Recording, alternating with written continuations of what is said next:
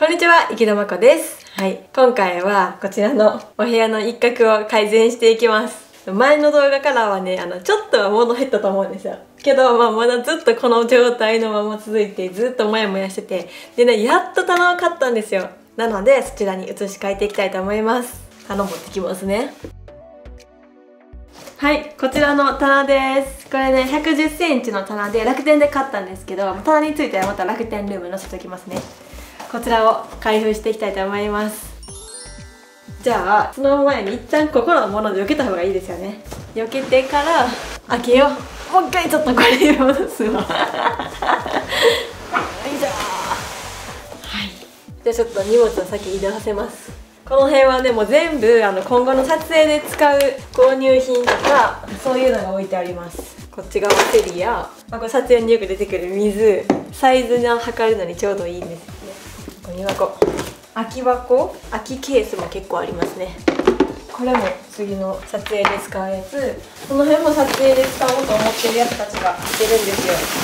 使った後のやつもあるけど。あとこれあの可愛いミラーです。これだけインテリアの中でまだね飾ってないのでどこに飾ろうっていう感じ。っていうのがねあの結構詰め込まれてるところです。あこれ次の GU の購入品の一部。袋といただいたコスメたちがね入ってて。はい開けた。ちょっと掃除しよ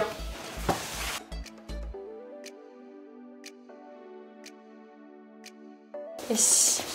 じゃあとりあえず開けていきます。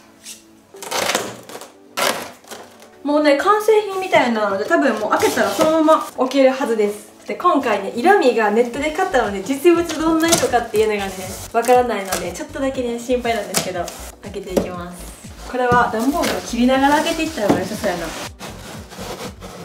さあ開けようせーのあ後ろやった でこれ多分あれやな自分で足だけつける感じかもはい、ちょっと今ね、スタッフさんに手伝ってもらって向きを変えたんですけど、あの、一人じゃ無理です。なので、あの、買う方は、あの、お友達とかね、家族に手伝ってもらうのがいいと思います。とりあえずカバー外そうか。せーの。あ、仕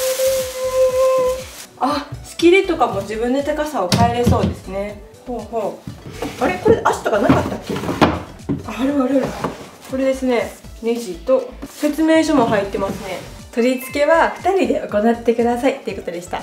じゃあ、えっと、棚を1回倒して足を先つけていきます。じゃあ開けていきます。足の先がねめっちゃとんがってて丸かったです。これ点で押さえるってことなのかな？すごい滑らかじゃあ足はこのままねねじって止めるだけみたいになるのでやっていきます。こっちか。あこっちや。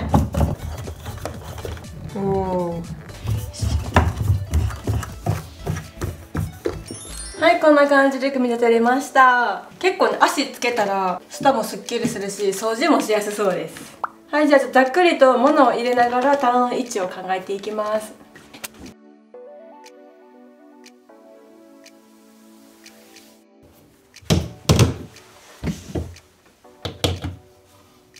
はいとりあえず完成しました。じゃあ一旦中のものから紹介していきますね。まあもう本当にここはフリースペースとして使うのでそんなに収納をきっちりしてるってわけじゃないです。はい開けるとこちら。ざっくり紹介すると今ここがセリアゾーンダイソーゾーン。でこういう動画撮りたいっていうのが自分の中であってそれに使うパーツたち。でここがあのコスメとかね結構試させてもらったりするんですけどそういう商材とかいただいた時のものを一旦入れておく場所です。ここからまあ撮って写真撮って SNS アップしたりとか順番にやっていくので、まあ、一時置き場みたいなスペースです。はいこっちも一緒ですね。ここはちょっとね今これプラダンとかリメイクシートとかもね入ってるんですけどこういう背の高いものを入れるには仕切りがあるとねちょっと邪魔になっちゃうのでもう仕切りちょっと一旦一番下に敷くような形で保管してこんな感じで収納しました。これもまた撮影で使ったらここはなくなるのでその都度変えながら使おうかなと思ってます。ほんまにあの全体的にここフリースペースゾーンですね。はい、で上はね3つ引き出しがついているんですけどここはねまだ何も入れてないです。またこう入れる必要なものがあれば入れるしなかったらないままかもしれないし。この引き出し自体はね最後まで引っ張ってもちょっと一応こう引っかかるようになってます。この引き出しの裏も一応ねここにへこんでる部分が下にあるのであの持てるようになってます。ただ裏ねちょっとあのこういう加工はされてないんですよ裏側は。だからちょっと木くずというかねあの木っていう感じです。そこだけちょっと気になるかな？はいで一旦ね家にあるインテリアも置いてみました。これはニトリプロジェクトノードっていうところのアート。H&M ホーム。H&M ホームです。ここはちょっとまたあのこれから買い足したりとか他のものと入れ替えながら考えていこうと思います。一旦こんな感じで。あとね今回、えっと、ここの場所になくてもよかったものとかもね結構あったのでそれは移動させようと思います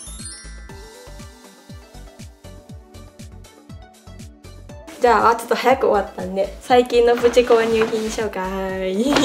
この前ね、えっと、B カンパニーっていうところでねディフューザーを買ったんですよ。スリッパを開けていきます。まずディフューザー。えー、めっちゃ大きくないですか？ノルディックコレクション？リードディフューザーですね。なんかね香りは3種類ぐらいあってその中からこの水色のものを選びました。お値段が2640円です。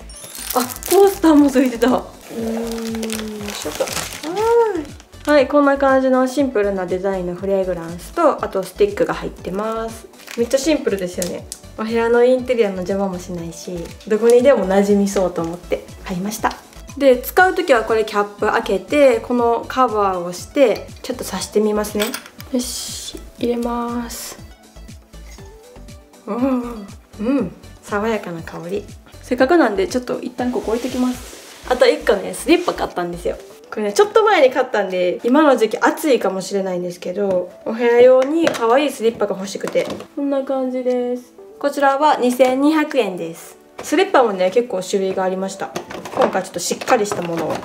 はいこちらです。カラーはねベージュっぽいカラーで他にもね何種類かありましたでこれがね L サイズのスリッパなんですけどサイズによって色がね結構限られてて L サイズの中ではこのねベージュが可愛かったのでこちらにしました。でこのスレッパのね一番私が選んだポイントとしてはまずここです。裏がね結構あのツルツルしたような素材になっていてあの汚れてもう拭き取れるんですよ。表面はねボコボコしてるのであの滑ったりとかすることも少ないと思います。であともう一個嬉しいのがこのね中。ここがね取れるんですよ。でここを手洗いで洗えるみたいなので、まあ、衛生的に使えるかなと思います。こっち側は多分洗えないので、まあ、ある程度スプレーしたりとか干したりぐらいのお手入れにはなると思うんですけど、まあ、こっち側が洗えるだけでも長く使えるかなと思って選びました。お気持ちいい気持ちいい。私結構普段24とか24.5で横幅も広くて足が大きいんですけど全然すっぽり入りますね冬とかで厚めの靴下とか履いても全然大丈夫そうはい、ということで今回は、えっと、やっとね、棚を買って、ここのスペース改善したよっていう動画でした。